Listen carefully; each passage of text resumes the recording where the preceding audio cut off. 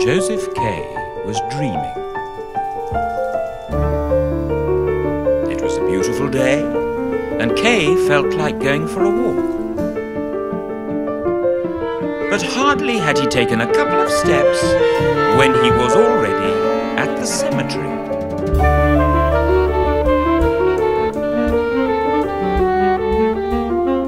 The paths were very winding, ingeniously made, and unpractical, but he glided along one of them as if on a rushing stream with unshaken poise and balance.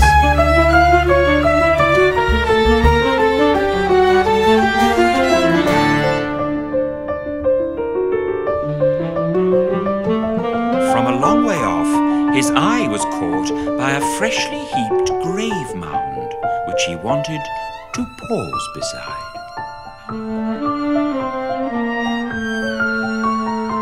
This grave mound exerted almost a fascination over him, and he felt he could not reach it fast enough.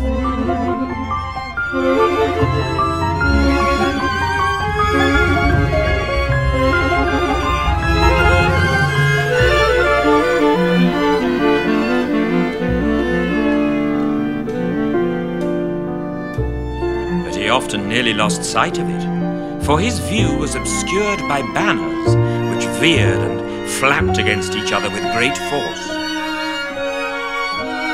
One could not see the standard bearers, but there seemed to be a very joyous celebration going on.